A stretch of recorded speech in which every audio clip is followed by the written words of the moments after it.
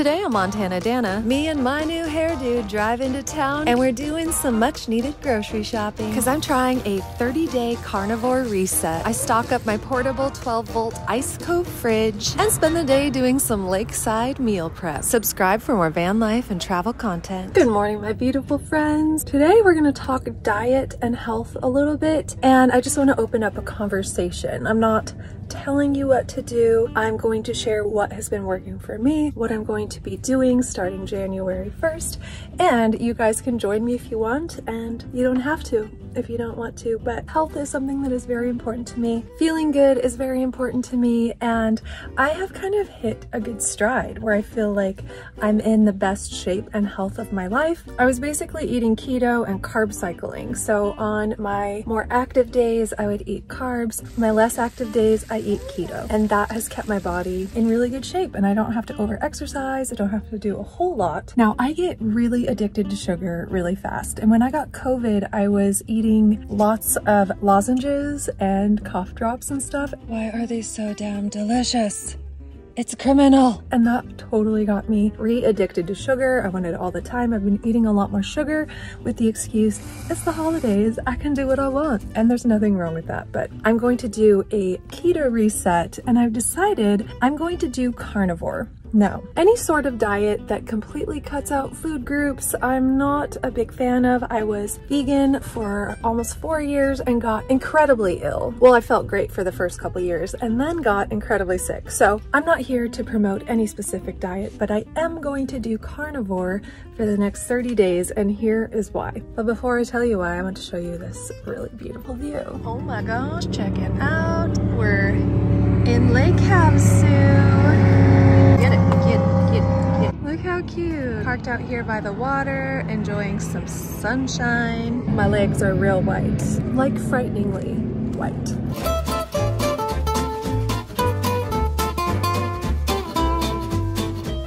So why would I go carnivore? Well, my first reason is I want to completely remove sugar from my life. I'm completely addicted to it right now and I crave it and I want it all the time. And I know that once it's out of my system for a couple weeks, then I don't crave it anymore. So that's reason number one.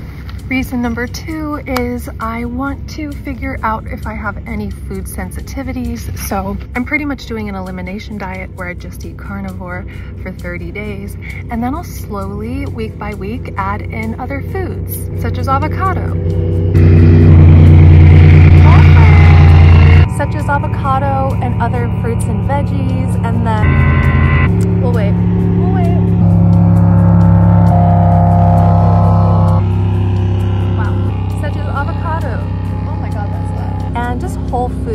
I want to really just pay attention to my body and how it's responding to these different foods as I add them back in. And then reason number three, I kind of just want to see what all the hype is about. I just want to experiment and see how my body feels. After going vegan and having a belief that it was the best diet for your body and not listening to my body's response to it for several years and being chronically ill and not knowing why, I feel like that would be the same thing if I did carnivore for any extended amount of time.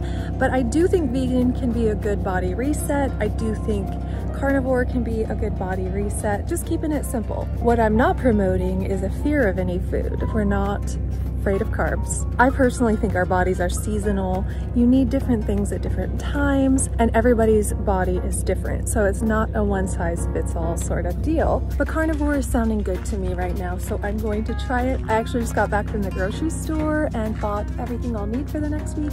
All right, we're heading straight for the meat aisle. I'm going to see if I can find any steaks on sale. And I found these T-bone steaks for $5.97 a pound, which took about $35 off of the total total cost. And then I got 10 burger patties. These are always a good go-to. Got some organic eggs. I usually get organic or free range, whatever's on sale at the moment. And you can eat cheese on the carnivore diet, but I'm doing somewhat of an elimination diet. I'm sticking to beef, eggs, bacon, and butter. And after the 30 days, I'll add cheese back in for a week, see how my body reacts and responds. I used to be really sensitive to cheese, but lately I've been able to eat it with no problems. So I just want to try it for 30 days and see how I feel. I'm also curious to see how long this amount of food will last me. I spent about 85 bucks on this grocery cart right here. I'm also gonna stay away from spices for now. Eventually, obviously, I'll add them back in, but I'm just going to salt my meat and eggs and cook them in either butter or bacon grease and just keep it really, really simple. And I haven't been able to cook at all in my setup. I'm traveling full time in a cargo trailer and I bought a little butane stove, but I had yet to buy butane. So I finally broke down today, went and got some butane and we're gonna cook tonight. And since I don't have a sink in my rig, I'm gonna cook most of it today and just eat it cold or try and reheat it somehow during the week. But I'm gonna do a little bit of meal prep today. Come hang out.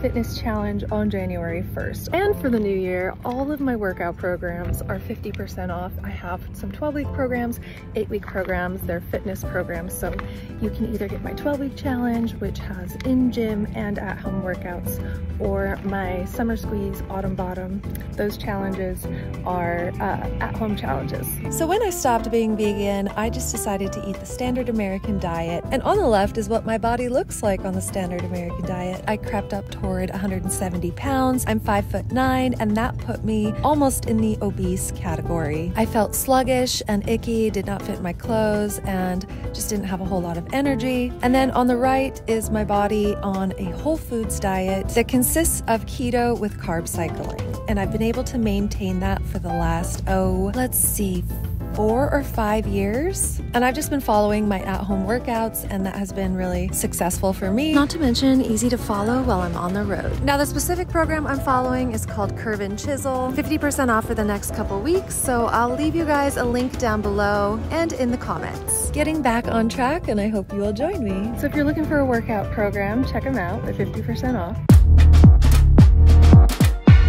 All right, I'm getting hungry, so I need to find my pan. I literally have been eating out every meal or eating charcuterie stuff, meats and cheeses and pickles and olives and stuff like that. And y'all know I love my egg bites. I've been making those for breakfast. Oh yeah. And I'll occasionally make bacon in my waffle maker. It actually turns out really delicious. I just don't have a way to clean it up, so bacon grease doesn't go bad, right? Would not recommend doing this inside. It's very smoky, but it smells delicious.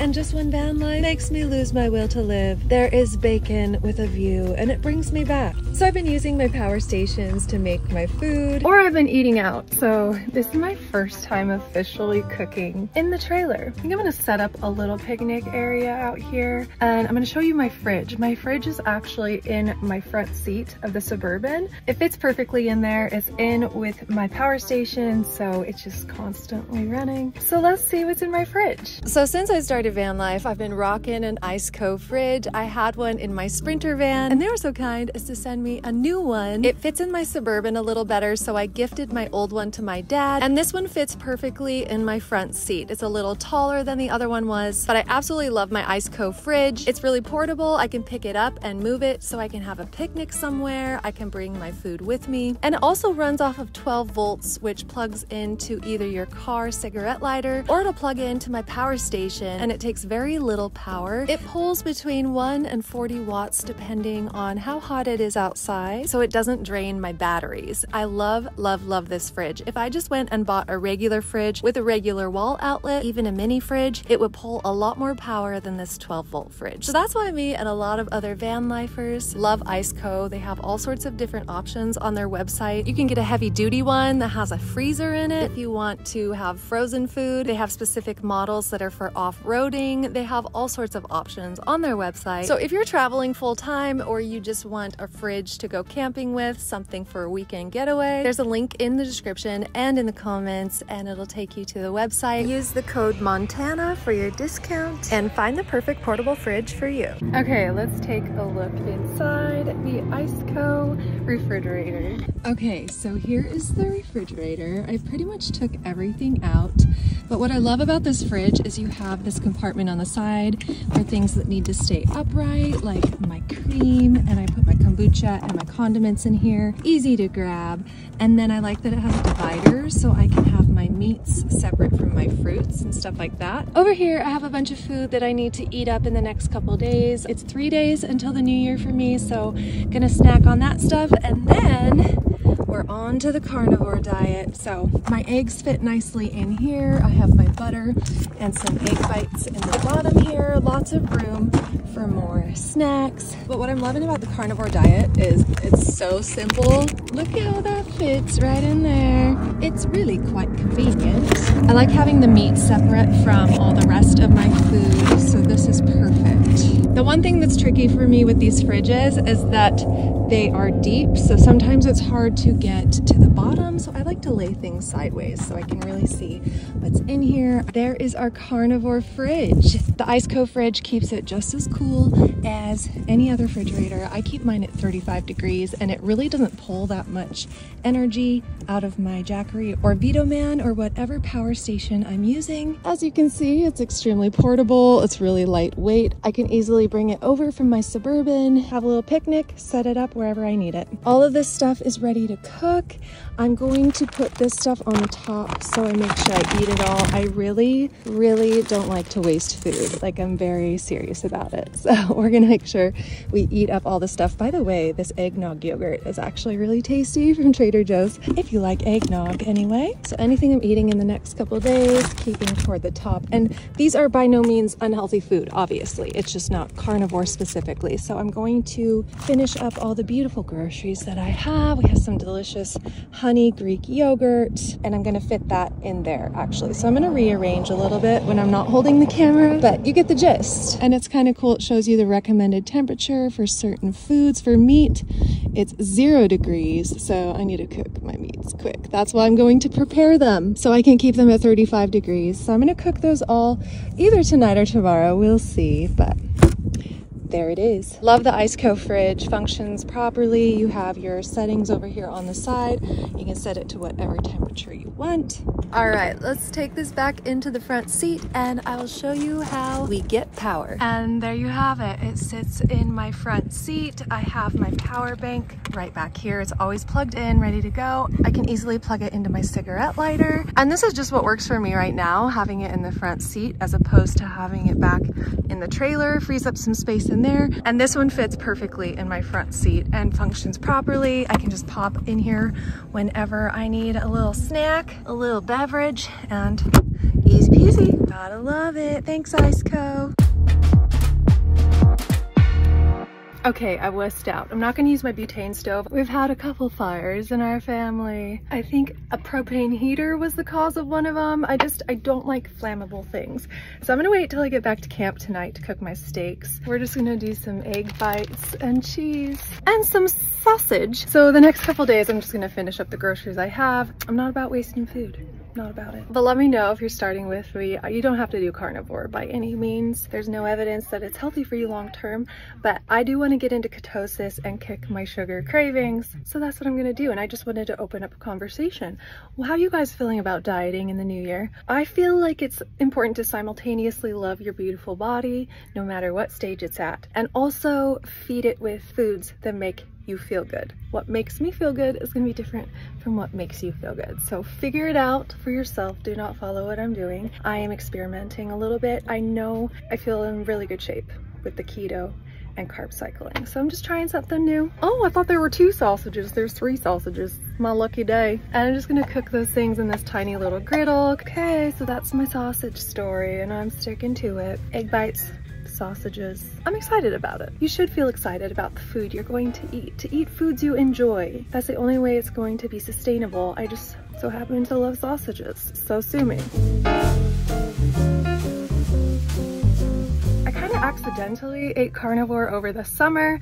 I made bacon and eggs every morning at my dad's house and he grills steak a lot, so I had a lot of steak person I was dating eats out a lot and we went to a lot of steakhouses and I just ate steak constantly. I would occasionally add some greens or a baked potato and I would have like a handful of nuts in the mid-afternoon, but I was eating more carnivore than I was keto and not really on purpose. And I was feeling great, so gonna give it a go. So carnivore for about a month and then I'll add in pickles and ketchup and stuff like that, like little condiment things that just make my eating experience more enjoyable, I want to see if it affects me at all. So um, every week I'll add something new in, see how it goes. On the days that I lift heavy weights, I will add in carbs. So I kind of stick to brown rice, oatmeal, and sweet potatoes when I'm doing carbs. Even a regular baked potato with sour cream and all the chives and bacon bits on it. I'll, I'll get that occasionally, but I don't eat like a ton of it. I'll just have it with my steak. So I just want to encourage you in the new year to love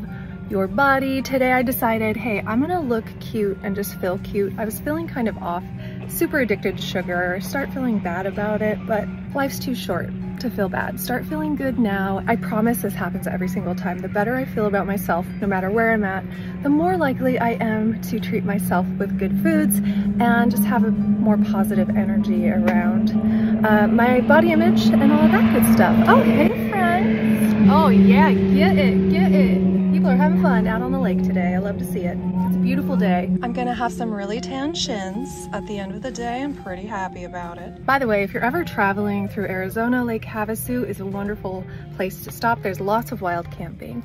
There is a Planet Fitness and it's near a Starbucks and a grocery store and you have all the amenities plus nature is just a few miles down the road. And then there's this beautiful place to park with all the lighthouses. There's lots of walking paths.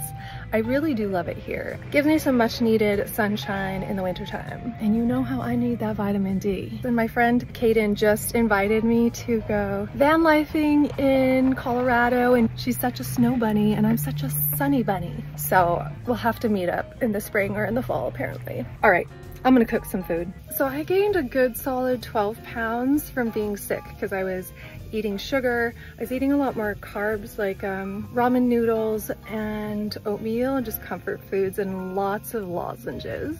I just wanted candy and called it lozenges. I'm like, Werther's Original are lozenges, right? Totally. And here's what I've been eating the last couple weeks and I've already felt my body come back to homeostasis. I'm feeling a lot more energy, a lot more fit.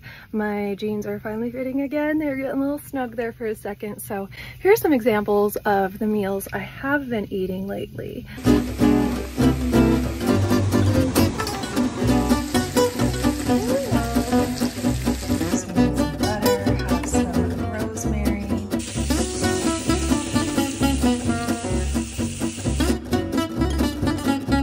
Flying Dutchman from In-N-Out Burger with ketchup. Okay, these are some broke ass egg bites.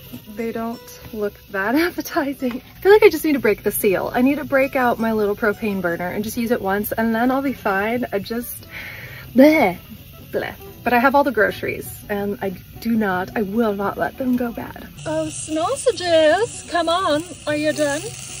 Oh, sausages.